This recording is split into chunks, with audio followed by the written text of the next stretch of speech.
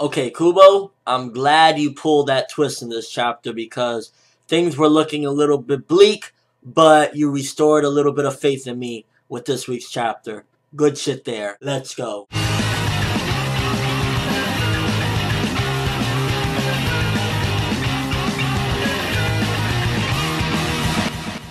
So the chapter starts off, and I'm thinking to myself, Kubo, this is a little fucked up. Why is Senjumaru already having her head blown in? I was like, the graphic detail on that alone, I was like, that's kind of fucked. But then for a Zero Division member, I was thinking, man, this is slowly trickling down into shit. I was really like disappointed at first. I was thinking to myself, oh man, what is Kubo doing? But this chapter, he totally made up for the past couple chapters that just felt like he was putting the Zero Division in the fucking trash can. I thought like, wow. So he did a good job in a sense, like trolling us for the past couple chapters into thinking that the Zero Division were getting beat out by Stern Ritter. I was like, good shit there. Like this chapter, clap it up. You know, he did a good job in tricking us, and he kind of restored my faith in the Zero Division. Although, to be fair, one thing I will definitely say, and this is always, I gotta point it out, regardless if Bleach does this a lot, I think one of the flaws that Kubo never seems to understand, or he just continuously does it, is telling the enemy what's going on, or like a secret or something, to tell the viewers, or the readers, shall I say, you know, like basically giving us the narration via the characters telling the enemies, is always a dumb move. Look at Shinji. Nearly his entirety of his fights have always been, oh, let me explain my ability in vivid detail so you can counter it. And when Senjumaru basically got up, I was like, good shit there. Like, I'm so glad that they're not coming out as just basically getting destroyed by the Stern Ritter and Bach.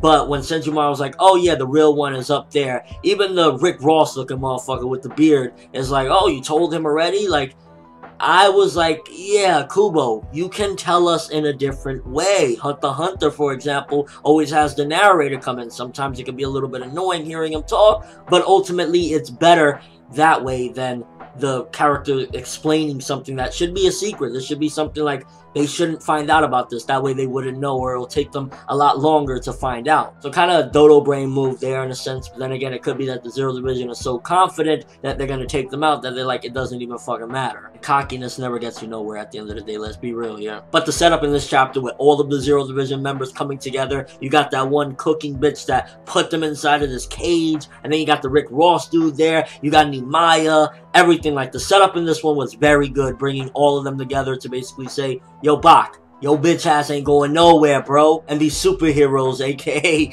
the Miracle and the X-Axis and all these people, they look like they're kind of fucked because they can't break through. So the Zero Division is once again retaining their name. Like I give it this chapter gave back a lot of the respect that I had lost for them. I had lost some respect. I was like, man, Kirinji got fucked over. Senjumaru got her head blown in.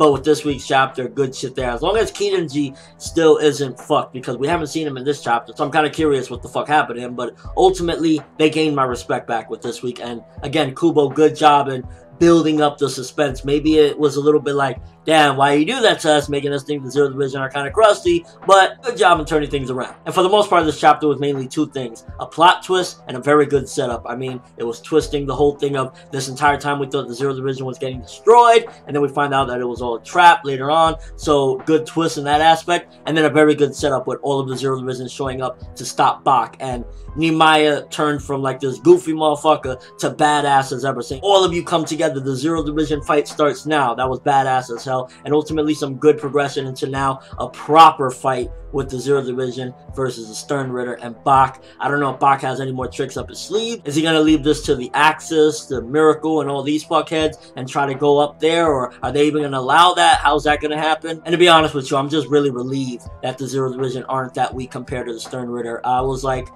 man, is building up Bach's army at the cost of the Zero Division's reputation and what they were built up to be. So the fact that they're not fucked over, good shit. And in all honesty, aside from the stupid move that Senjumaru made by telling him the real Soul Palace is upstairs, for the most part, this was a very good setup chapter. Good twist there. I'm gonna give this chapter an 8 out of 10. Very good stuff. Now I'm excited about the Zero Division again, because it was trickling. Like the beginning of this chapter, I was like, fucking hell, Kubo, what are you doing? Like, what are you doing? And then as the chapter progressed and we found out, I was like, fair play to the guy, fair play. Just don't troll us like that anymore, please. But let me know what you guys thought of this chapter. What did you think about the twist? Are you excited about the Zero Division again? What do you think about Senju getting seemingly her head blown in and then finding out it really wasn't her? And do you think that was a costly mistake, revealing that the real Soul Palace is up there? And what do you think about that setup with Nimaiya at the end, basically saying the fight starts now? Did you get hype? I personally got excited and Kubo restored my faith in the Zero Division with this week's chapter. Your overall thoughts. But that's all I have for this review. Thanks for watching. Hope you enjoyed. If you liked anything I had to say or enjoyed the video, drop me a like.